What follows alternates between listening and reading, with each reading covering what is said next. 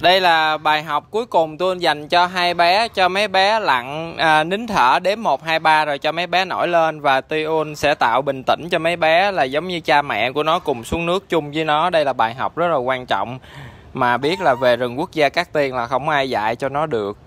Và nó phải tự học kỹ năng lặn này. Nên hôm nay anh uh, anh Long bên vườn quốc gia Cát Tiên đã đến rồi hy vọng anh đợi một chút xíu để em cho mấy bé làm quen với nước. Ừ. Rồi rồi rồi rồi rồi. Quay quay quay quay. Đây, không có hồ cá tụi mình vô hồ mini nè, con. Chết rồi tôi bự quá, con ơi. Tôi chui vô tôi kẹt cái mông dính trong đó. Ôi, không có lặn được miếng nào á. Ok. Sửa lại sửa lại tư thế nha.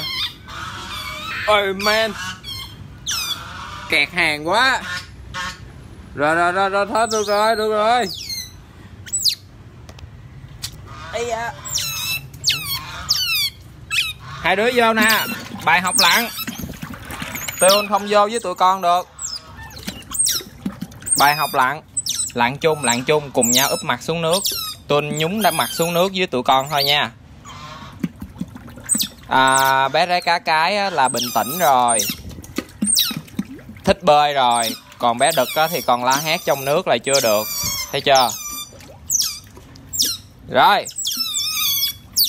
Con đực á, là nó chưa chịu học bơi bởi vì nó chưa có ngậm miệng. Nó mà lặn á nó chưa có học lặn được nó chỉ mới bơi thôi.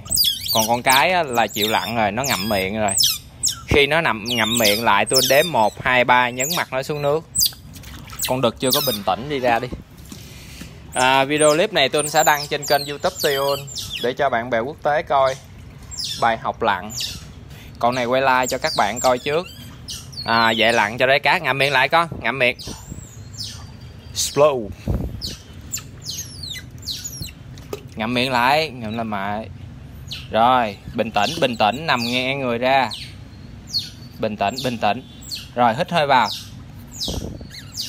Các bạn biết là tôi có kỹ năng dạy bơi rất là chuyên nghiệp rồi, nên khi mà tôi rờ vô trong cái ờ, cơ thể của bé này, tôi cầm nó như vậy là tôi hiểu được nhịp tim của nó khi nào cái bụng nó phình ra để hít hơi vào và khi nào nó thả hơi ra.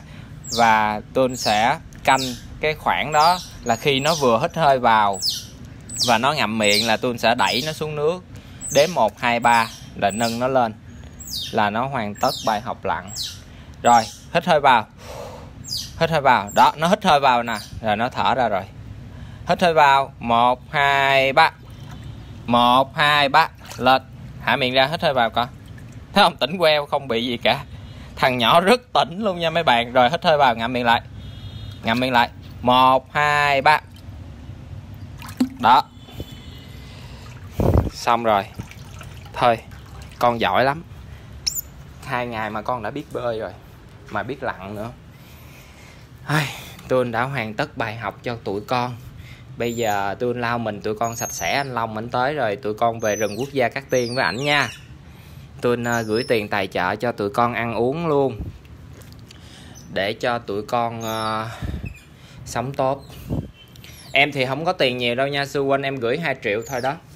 Mấy huynh uh, cho nó ăn uống gì cho giùm em xong nha, em tròn trách nhiệm. Các bạn biết đó, vừa giải cứu động vật là phải tốn mà chăm lo, nó cũng tốn. Thôi, có vườn quốc gia lo cho mình rồi thì mình cũng tốn để cho mấy ảnh chăm sóc cho nó tốt.